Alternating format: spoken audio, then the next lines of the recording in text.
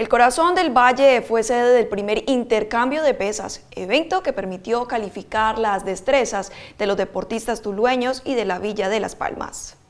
El levantamiento de pesas no es un deporte en el que todo se centra en la fuerza, requiere de mucha disciplina, astucia e inteligencia. Se integren, se integren más a esta práctica deportiva y más adelante poco a poco se van viendo como los talentos, ¿no?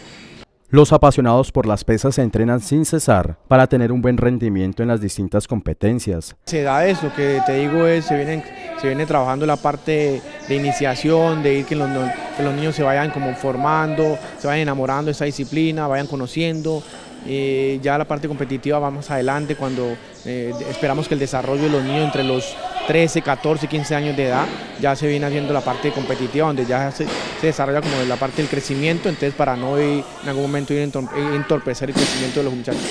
Para lograr los resultados en los deportistas se requiere de mucha disciplina.